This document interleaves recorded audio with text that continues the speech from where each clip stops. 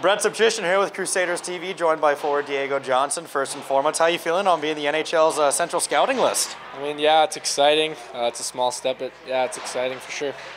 And uh, of course, you're coming off a five-point performance against the Canucks. Anything in particular you're doing to try and uh, continue your success uh, on the on the ice? Yeah, I mean, I'm on a I'm on a pretty good line right now, and some chemistry. So I feel like we just gotta keep buzzing in the in the ozone and stuff, and start having some clean breakouts. And yeah. Of course, over the weekend, the team did score uh, 15 goals in two games. So, is there any the team? Is there anything the team is doing to try and continue this offensive onslaught?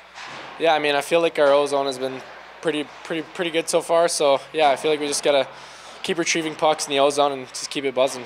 Last question here. Halloween is uh, next Tuesday. Uh, you going in for anything uh, in particular? Uh, yeah, I think uh, me and the Billet brother Painter are going as a stepbrother, so it should be fun. Perfect, classic. Thank you very much, uh, forward Diego Johnson and Brett Sobchsyhyn for Crusaders TV. Brett Sobchsyhyn here with Crusaders TV, joined by forward Ryan Zaremba. First and foremost, uh, congrats on being on the NHL Central Scouting List. How are you feeling about that? Yeah, thank you. Uh, it's a pretty big deal. I think it was a pretty cool honor, so yeah, I'm happy about it. And another accolade, you were just named AJHL Rookie of the Week. I want to give your thoughts on that as well.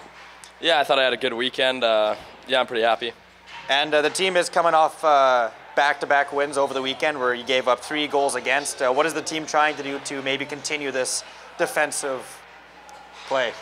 I think uh, we're just trying to stay in the ozone as much as possible, control the puck, control the game, and that leads to good offense and keeps the other teams out of our zone. Perfect. And my last question, your Halloween is coming up on Tuesday. Uh, you dressing up as anything? No, probably not. oh, pretty lame. Thank you very much. Forward uh, Ryan Zaremba joined with Brett Sobchsyhyn for Crusaders TV.